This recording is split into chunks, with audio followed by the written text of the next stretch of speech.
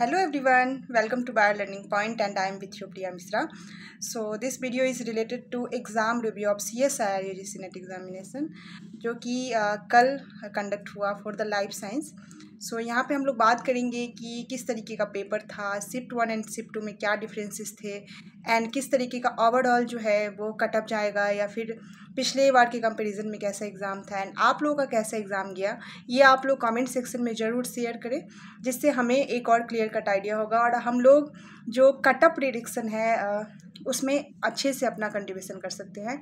Because आप जो previous year का कटअप था, जो मैंने प्रेडिक्ट किया था अकॉर्डिंग टू स्टूडेंट्स रिव्यू कि कैसा पेपर का लेवल है एंड कितना स्कोर किए एंड कितना अटेम्प्ट किए उन्होंने उसके बेसिस पे जो मैंने कटअप प्रिडिक्ट किया अप्रॉक्स वही कटअप सी एस आर का ऑफिशियल रहा। सो इस बार भी हम लोग कुछ ऐसा ही ट्राई कर रहे हैं। सो जो भी स्टूडेंट पैनिक हो रहे हैं, उनके लिए हम सबसे पहले ये बात करें कि जो हो चुका है, उसके लिए हम अब कुछ नहीं कर सकते हैं। एग्ज़ाम ख़त्म हो चुका है। अच्छा गया तो भी बहुत अच्छी बात है, बुरा गया तो हम उसमें उसमें कुछ भी नहीं कर सकते हैं।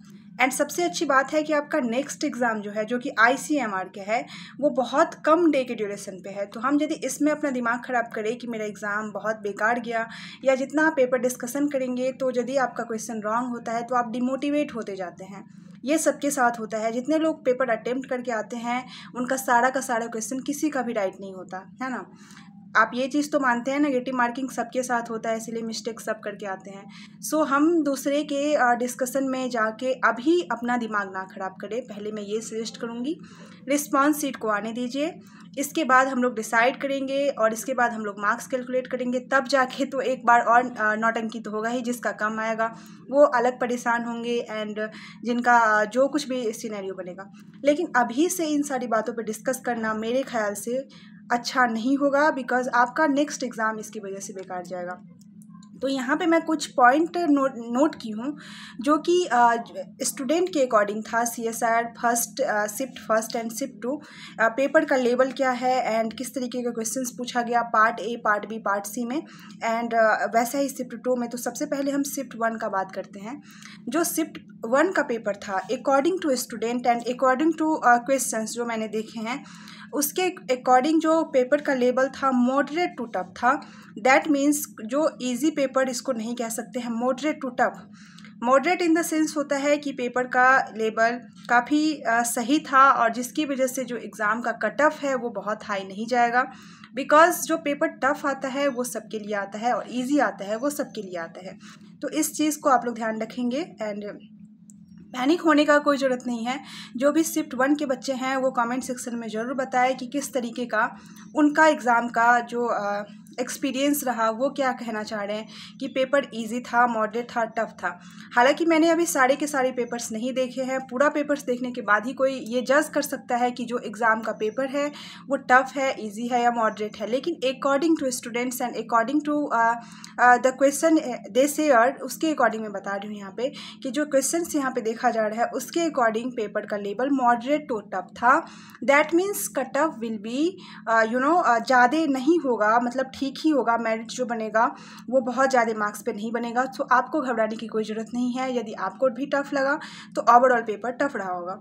तो आप लोग ज़रूर कमेंट सेक्शन में बताएँ क्वेश्चन का लेवल कितना अच्छा आया था या क्या लेवल रहा क्वेश्चन का and all that you can discuss me in comment section and part A part B part C का हम बात कर ले तो पार्ट ए का जो बता रहे हैं वो little bit moderate to tough that means कि जो पेपर का लेवल है इन सॉरी शिफ्ट वन वो मॉडरेट टू टफ की तरफ़ है। एंड पार्ट बी के बारे में बता रहे हैं बच्चे कि ठीक ही था। एंड पार्ट सी जो है मॉडरेट टू टफ तो दैट मीन्स ओवरऑल पेपर का जो रेंज uh, हो गया वो मॉडरेट टू टफ हो गया। तो इसका कटअप जो होगा वो क्या होगा वी विल प्रिडिक्ट लेटर सबसे पहले आप लोग अपना रिव्यू ज़रूर शेयर करें। मैं बार बार ये बात इसलिए कह रही हूँ क्योंकि एग्जैक्ट कटअप प्रिडिक्ट करने में हमें बहुत फ़ायदा होगा। जब तक कि रिस्पॉन्स सेट नहीं आता है, तब तक हम एग्जैक्ट कटअप इसी के बेसिस पे लगा सकते हैं कि क्या हो सकता है। मतलब अप्रॉक्सीमेट कि किस तरीके का कटअप होगा। अब हम बात करते हैं सिफ्ट टू के पेपर का। तो शिफ्ट टू का जो पेपर था, वो ओवरऑल उनका यदि हम सिनेरियो देखें अकॉर्डिंग टू स्टूडेंट्स रिव्यू उनका भी पेपर का लेवल मॉडरेट टू टफ ही रहा। इजी नहीं कहा जा सकता है। Moderate to tough and part B part C was a little bit you know complicated as compare know previous years and all so और part A and part B part A भी ठीक ही था। मतलब ओवरऑल यदि दोनों को paper को हम लोग यहाँ पे कंपेरिजन करें कि कौन टफ और कौन ईजी सो so, यहाँ पे स्टूडेंट के रिव्यू के अकॉर्डिंग जैसा कि स्टूडेंट्स बता रहे हैं, उनके अकॉर्डिंग ये समझ में आ रहा है कि ओवरऑल पेपर एक जैसा ही था। मतलब ओवरऑल पेपर एक जैसे होने का मतलब ये हुआ कि आपके कट ऑफ़ में फ्लक्चुएशंस नहीं होगा। पिछले बार ऐसा हुआ था कि part B sorry shift B का जो पेपर था, वो थोड़ा सा टफ हो गया था शिफ्ट वन से। और इसकी वजह से जो कट ऑफ़ का डिफरेंसेस यहाँ पे देखने का मिला परसेंटाइल की बात नहीं कर रही यहाँ पे मैं मार्क्स के बेसिस पे। सो फिफ्टीन मार्क्स का यहाँ पे डिफरेंस देखा गया कि फिफ्टीन मार्क्स फ्लक्चुएट कर गए। सो so, जिनका फिफ्टीन मार्क्स कम था पार्ट बी में सॉरी शिफ्ट बी में वो क्वालिफाई कर गए और पार्ट शिफ्ट ए के स्टूडेंट को ज़्यादा मार्क्स लाना पड़ा। इस बार ऐसा कुछ सिनेरियो हमको देखने को नहीं मिलेगा कि क्योंकि जो स्टूडेंट्स के रिव्यू के अकॉर्डिंग पेपर वाज सिमिलर और ये एक बहुत बड़ी प्लस पॉइंट होती है किसी भी एग्जामिनेशन की। यदि पेपर का लेबल यदि दो शिफ्ट में एग्ज़ाम हो रहा है और एक जैसा बन रहा है सो कट ऑफ़ जो है वो ऑलमोस्ट सेम होगा दोनों शिफ्ट का। हालाँकि यहाँ पे परसेंटाइल बेसिस पे है परसेंटाइल का नहीं, यहाँ पे मार्क्स का आप कितना स्कोर किए उसके बेसिस पे बात कर रही हूँ। परसेंटाइल नॉर्मलाइज होता है, बाकी की चीज़ें होती है, वो हम लोग बाद में डिस्कस करते हैं। पहले हम इस बात पर डिस्कसन कर रहे हैं कि पेपर का लेवल क्या था एंड किस तरीके की चीज़ें थी। एंड जो भी क्वेश्चन पूछे गए थे कुछ पार्ट बी शिफ्ट सेकेंड में कुछ क्वेश्चन रिपीटेड थे एज इट इज़ थे प्रीवियस ईयर्स के। तो दैट मीन्स कि कुछ क्वेश्चन यदि रिपीटेड आ रहे हैं दैट डजेंट मीन कि पेपर ओवरऑल ईजी था।